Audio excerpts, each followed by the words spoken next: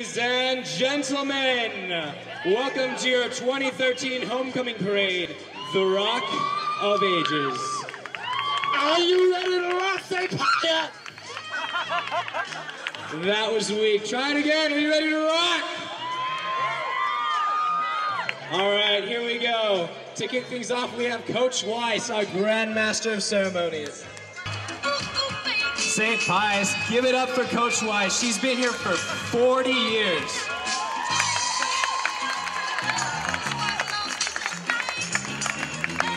And following Coach Wise, give it up for the oh so swole football team.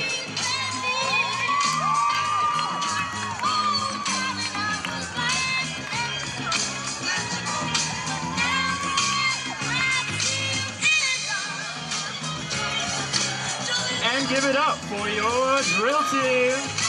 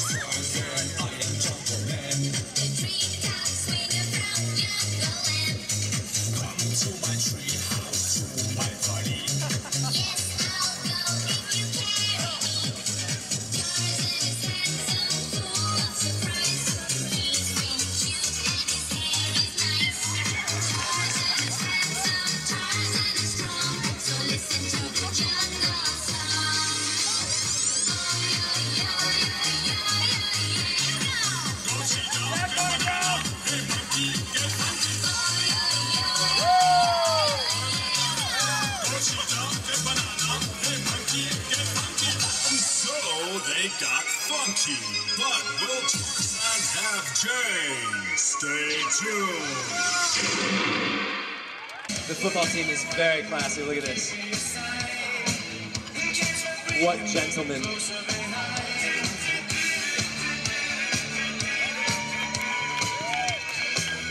The soccer team, on the other hand, I'm not so sure. Flying around now is Miss Eiler and the RC Club. And they're taking photos of everyone. Smiling. And we're running in now. These guys are about as super as you can get. Give it up for the cross country team and Batman, otherwise known as Mr. Ball. Also give it up to the girls volleyball team. Hey, uh, Aiden, want to know something? What's up, Michael? Uh, did you know that we were state champions in volleyball last year? Oh, of course I did. Oh, that's cool. And now, St. Pius, your ladies' soccer team.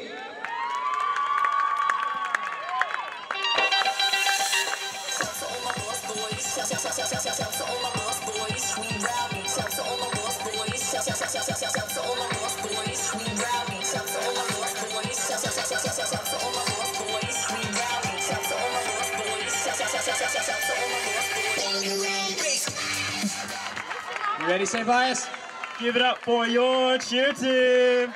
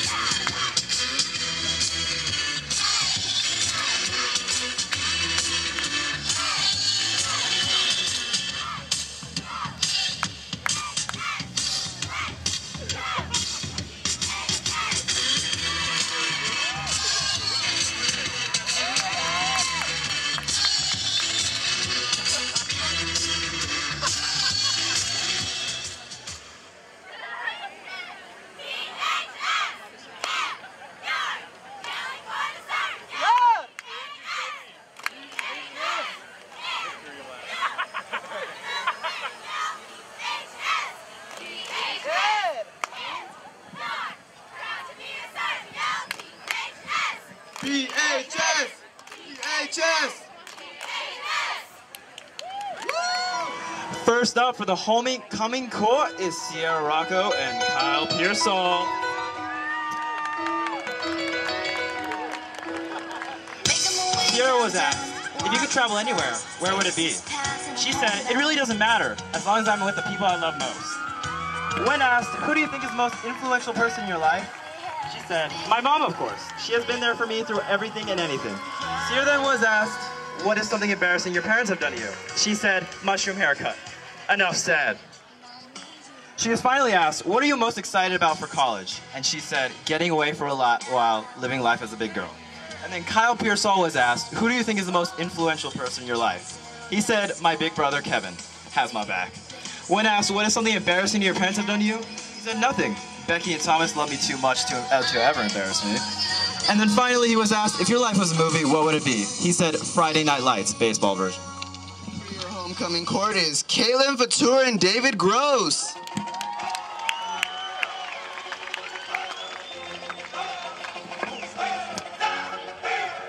Caitlin was asked if you could travel anywhere, where would it be?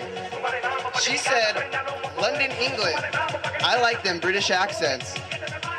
When asked, what is something embarrassing your parents have done to you? She said, my mom trips a lot in public places. It's embarrassing.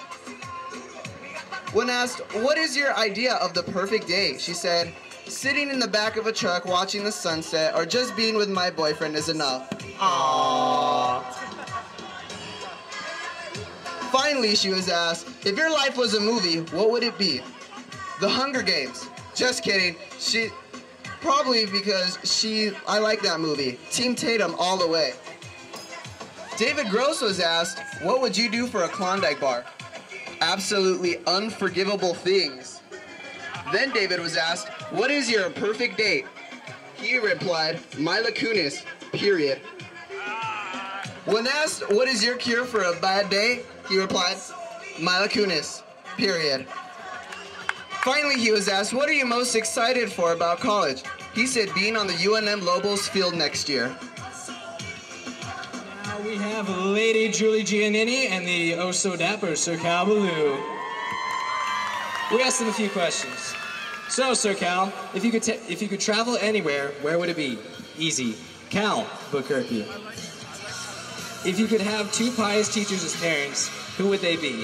If faculty counts, my mom. Oops, am I not supposed to say that anymore? Who do you think is the most influential person in your life? Miss Sheila Jennings. She's a champion. What would you do for a Klondike bar? I would run a marathon and burn some calories. And now, Lady Julie.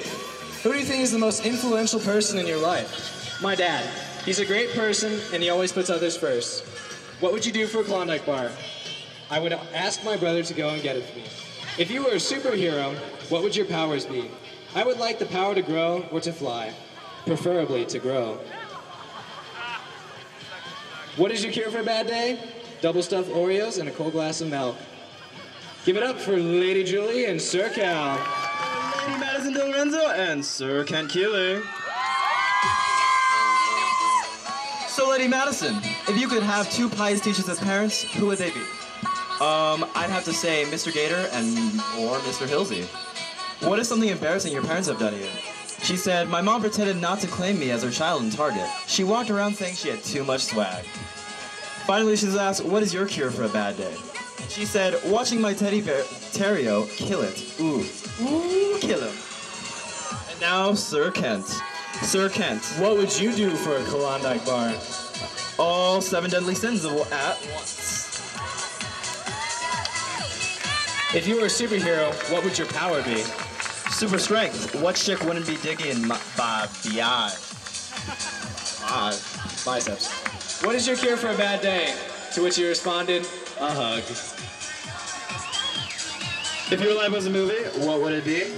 Rambo. Ladies and gentlemen, give it up for Sir Kent and Lady Madison. Lady Lindsay and Sir Javier. Like everyone else, we forced them to sit down and answer our questions. So, Lady Lindsay, what is something embarrassing that your parents have done to you? She replied, I really don't want to talk about it. What would Lady Lindsay do for a Klondike bar? She said, What wouldn't I do for a Klondike bar? What is your idea of the perfect date? Anything with a double cheeseburger. And finally, Lady Lindsay said, What are you most excited about for college? She said, College? What's that? Now, Sir Javier, what do you think, who do you think is the most influential person in your life? He said, My Papa Squat.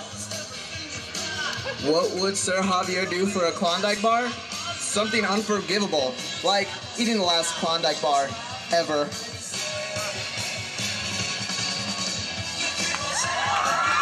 Give it up!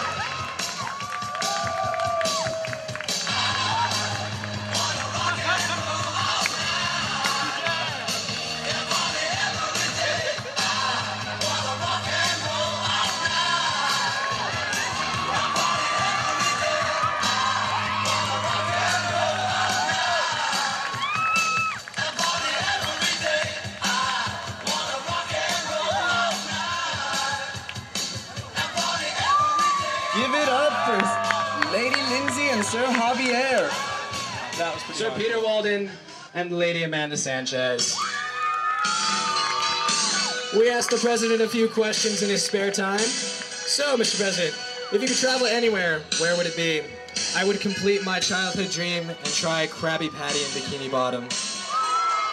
Then he was asked, Who do you think is the most influential person in your life? He responded, My grandpa, because he showed me that the littlest things in life never go unnoticed. And when asked, what would you do for a Klondike bar, he said, I would put up with Jordan O'Gee's magic tricks for a whole day. Or run cross country for a whole day. Well played, sir, well played. So, Lady Amanda, if you could travel anywhere, where would it be?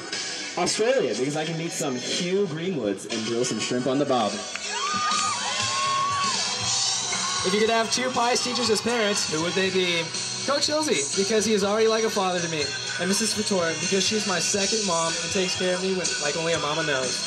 Finally, she was asked, What is your cure for a bad day? He said, Said, I think my brothers can cure anyone's bad day. Ladies and gentlemen, give it up for Sir Peter and Lady Lindsay. And Lady Clara and Sir D- JD, who appear to have something in store for us all. And this time, it doesn't appear to be burritos or overly complicated signs. First, we asked Clara, Who do you think is the most influential person in your life? And she said, Rocky, our security guard, especially when he's mobile. When asked if you were a superhero, what would your power be? She said, I would have a radar in the halls to know where all the administration were, so I could pull my skirt down and tuck my shirt in before they see me. Finally, she was asked, What are you most excited about for college? She said, The meal plan. Next up is JD. We asked him, What would you do for a Klondike bar? He said, What would a Klondike bar do for me? And then finally, he was asked, What is your cure for a bad day? And he said, Of course, singing.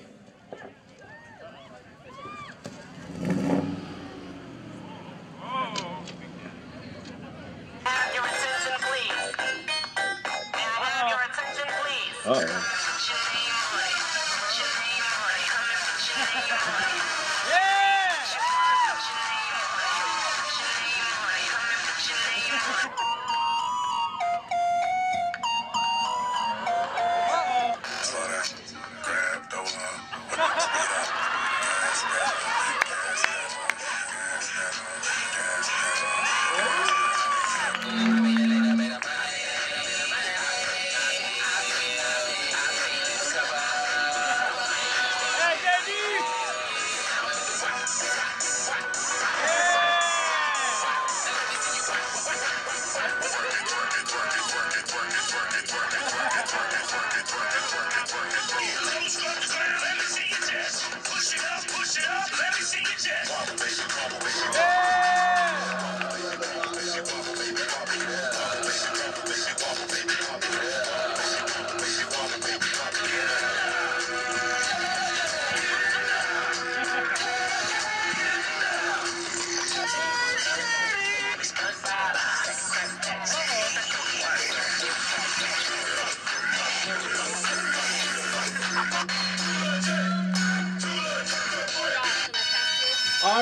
give it up for Sir JD and Lady Clara. Coming as the freshman, going back to the 1950s. Let's see it. Six, seven o'clock, eight o'clock, rock.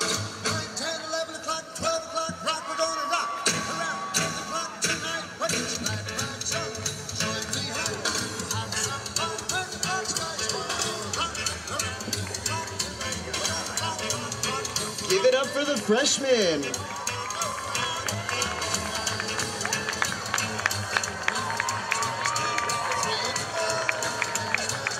Nice try, guys.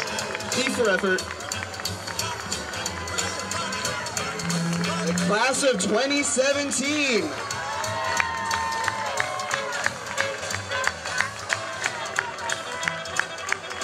Aren't they cute? And now here come these sophomores, taking us back to the 60s. I do believe that is a yellow submarine.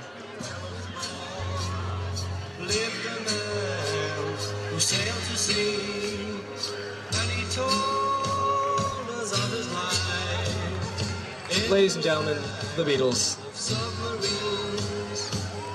Let's hear it for the class of 2016.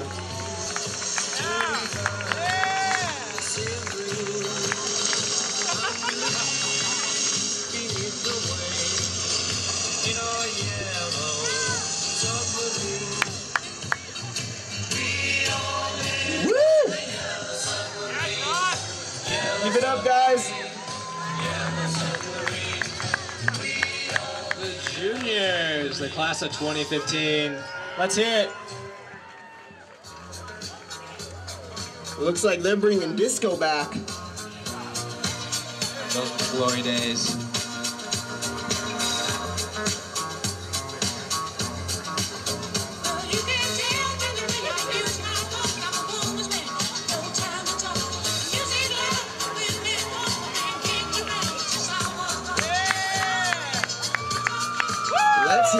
Juniors.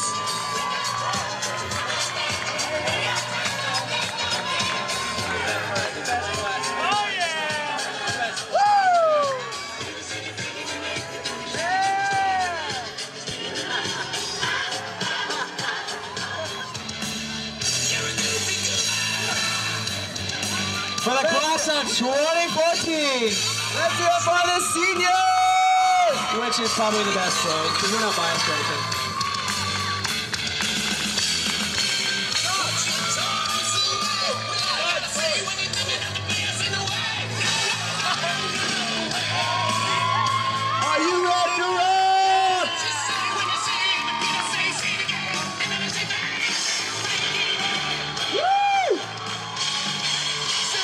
Gonna knock the pee out of those far ends, aren't we? Hey, here comes Deacon Renee. Looking good.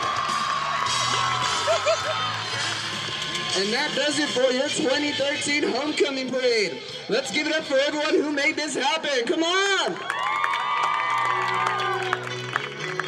A special thanks to all the sports teams, the international students, the court, and all who gave their time in putting together the floats. We hope everyone has a great homing, homecoming week. Be safe and make the most of it.